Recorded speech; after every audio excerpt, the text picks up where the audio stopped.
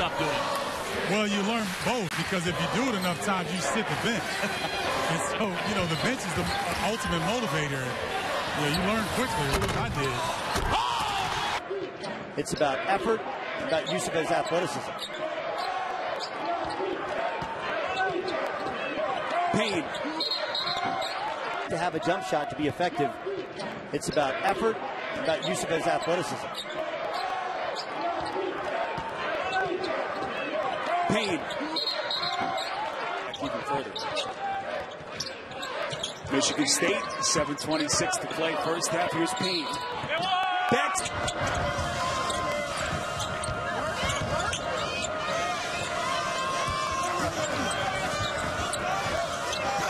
Kaminsky. Redshirt guards in that first half when they had control early and allowed Indiana to kind of take control. Track went 2 of 11 from the field. Again, good post team, and they got the nice little cross screen. Double team, there's the feet underneath. A fine concert. They lead the country in fewest points yielded, 55.5. How about this? The jumper Valentine. Oh! And that was against Iowa in the Big Ten tournament where they didn't attempt a free throw.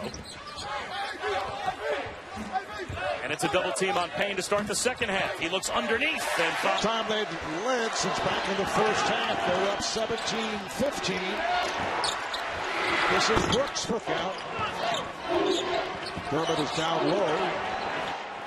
Facing the double, finds the open man. Chapman, yes. Martino does a nice job, very athletic around the rim. Now McDermott in the post. Cross court. Manigat. Oh, he's 42-27. He wants that little fadeaway. Show the ball. Now Step back. draws a double team.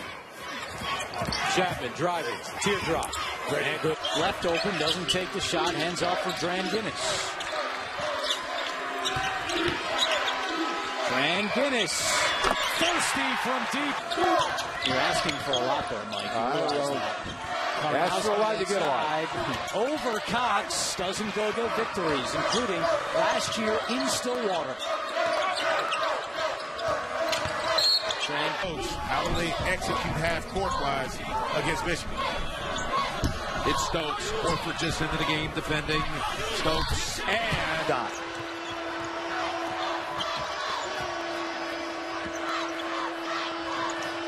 Trailer on the angle. Backs him down. Spins back right hand. The Wildcats have lost ground. they haven't hit a shot in the last four minutes at this end.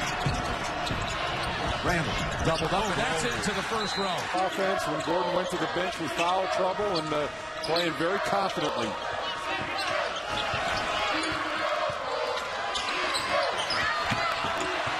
Great team. With Horsey and Brown to kind of counteract Stokes and Neiman.